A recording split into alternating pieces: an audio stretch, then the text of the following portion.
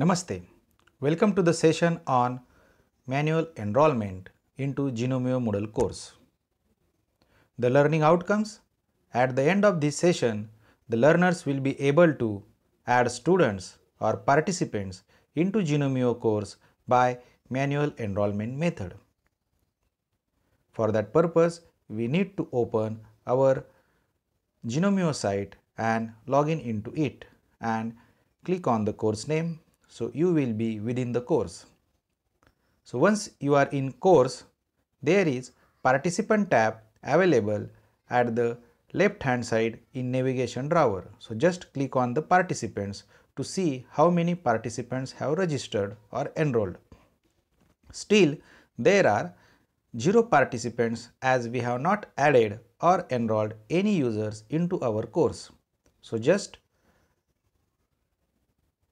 scroll down the navigation drawer to find out the site administration tab. So, here is site administration tab.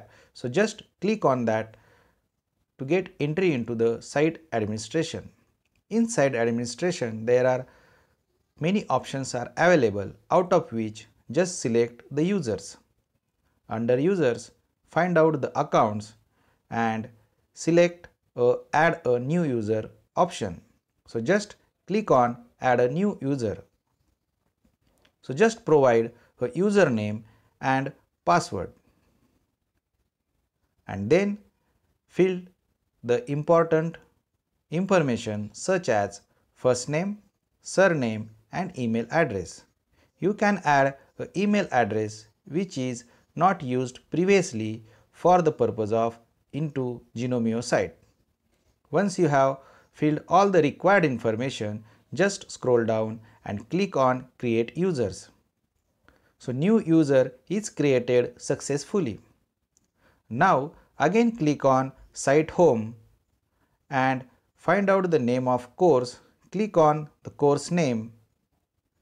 Then again click on the participants tab on left hand side and see how many participants are registered. Still it is a 0 as we have added a user into Gnomio site not in course. So now you are going to look how to enroll the registered user into the course. So for that just click on this system gear. So just click on it. So pop-up window will appear. I will zoom it. So just click on this enrollment method tab. So once you select it, you will be here.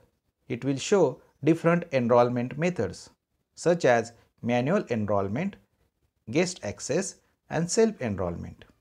In manual enrollment, go to the edit section. There are four tabs delete, disable, enable, add users or enroll users and setting. So just click on this tab to enroll the users. So here list of users are not enrolled into the course is available at right hand side and on left hand side there is enroll users. It will show none. So just scroll down. Why?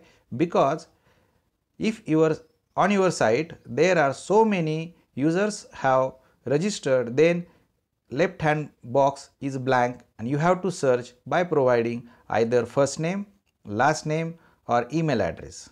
But we have just added two users to this site. So, just click on the name of participants and then click on this add button. So, the users are enrolled into the course.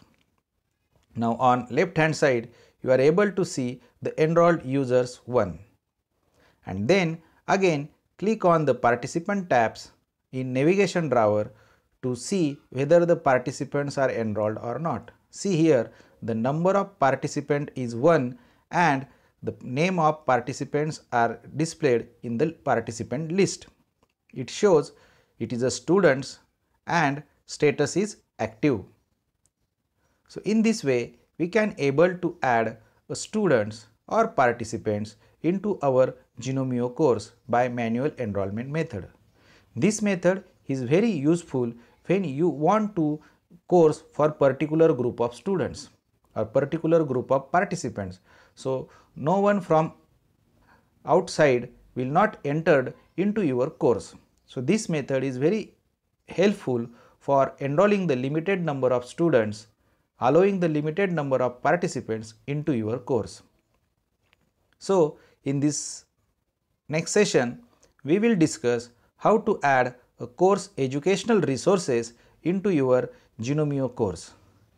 Thank you very much. For queries or suggestion or any comments, kindly contact me at the email or the mobile number.